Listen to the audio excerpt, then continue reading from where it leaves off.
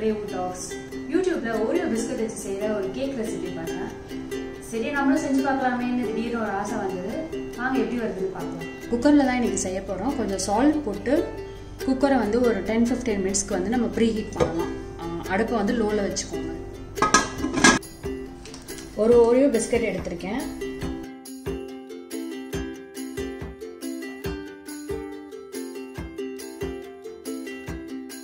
இப்போ இதை ஒரு மிக்சரில் போட்டு கிரைண்ட் பண்ணிக்கலாம்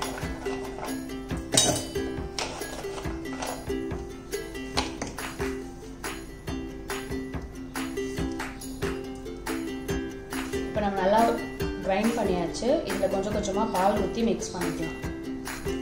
இது காய்ச்சி ஃப்ரிட்ஜில் வச்சுருந்த பால். பிஸ்கட்டில் ஆல்ரெடி சுகர் இருக்கும். ஸோ நம்ம அடிஷ்னலாக எதுவுமே ஆட் பண்ண வேணாம்.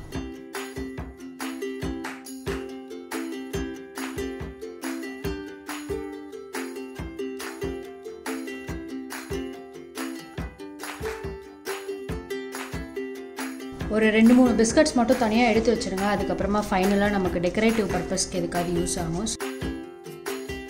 இது ஒரு பேக்கெட் பிஸ்கெட் ஓரியோக்கு வந்து எனக்கு ஒரு கப் ஃபுல்லாக கூட ஆகலை பால். இதில் ஹாஃப் கப் தான் நான் ஊற்றிருக்கேன் அதுவே எனக்கு கன்சிஸ்டன்சி கரெக்டாக இருக்குது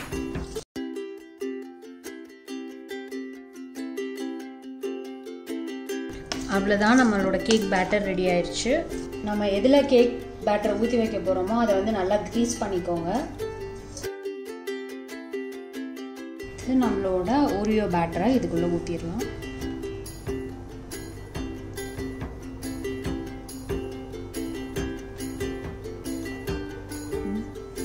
லைட்டாக டேப் பண்ணிக்கோங்க. எதுவும் ஏர் பபிள்ஸ் இருந்தால் இதாகிடும் நம்ம பேட்டர் ரெடி ஆயிடுச்சு. கொஞ்சம் சோடா உப்பு போட்டு மிக்ஸ் பண்ணிக்கலாம்.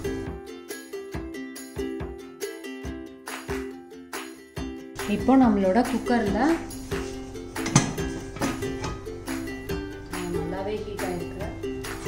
டேரெக்டாக அதில் வைக்காமல் என்ன பண்ணுங்கள் ஒரு ஒரு ஸ்டாண்ட் மாதிரி இருக்கும்ல அது இருந்துச்சுன்னா அதை வச்சு வைங்க. இல்லைன்னா ஏதாவது குட்டி பிளேட்ஸ் இருந்துச்சுன்னா அதை கவுத்து போட்டு அதை நம்ம ஸ்டாண்டாக யூஸ் பண்ணிக்கலாம். பிகாஸ் டேரெக்டாக இதில் வந்தால் எப்படி வரும்னு எனக்கு ஐடியா இல்லை. ஸோ அவங்க செஞ்சு தான் நான் அப்படியே சொல்கிறேன்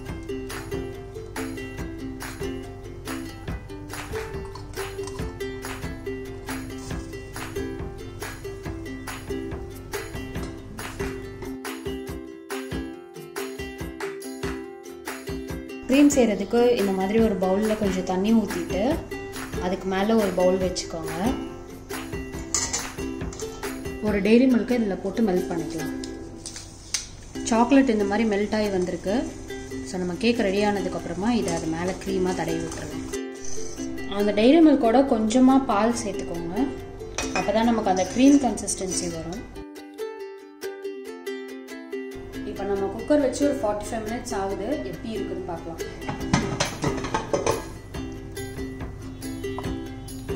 பாருங்க ஒட்டலை நல்லா வெந்திருக்கு. ஆஃப் பண்ணிடலாம் குக்கரை இதை எடுத்து கொஞ்சம் நேரம் வெளியில் வச்சுட்டு இதை ஆறுன விட்டு கேக்க நம்ம எடுக்கலாம். இதை சைட்ஸ் வந்து ஒரு நைஃப் வச்சுட்டு செப்பரேட் பண்ணிக்கோங்க.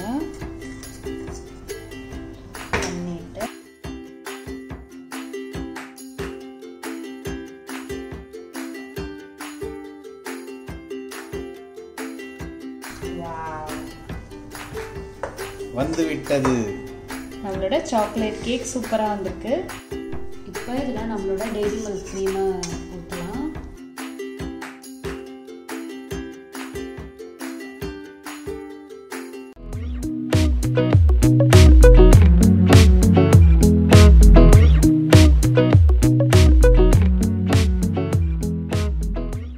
நார்மலாகவே இந்த கேக் சூப்பராக இருக்குது பட் எனக்கு இன்னும் கொஞ்சம் அடிஷ்னல் டச் கொடுக்கலாம். சாக்லேட் கேக்குக்கு ஒரு பர்ஃபெக்ட் காம்பினேஷன் பார்த்தீங்கன்னா அது வெனிலா ஐஸ்கிரீம் தாங்க.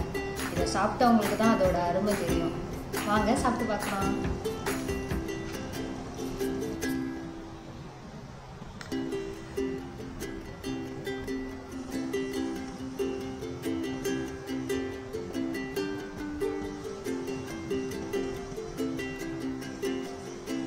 ரெண்டுமே தனித்தனியாக செம்ம டேஸ்ட்டாக இருக்கும். இதில் ஒன்றா சேர்த்தோன்னா அப்படி இருக்குது இது வரைக்கும் நம்ம சேனலை நீங்கள் சப்ஸ்கிரைப் பண்ண வந்தீங்கன்னா சப்ஸ்கிரைப் பண்ணிக்கோங்க. இன்னும் நிறைய அந்த மாதிரி வீடியோஸ்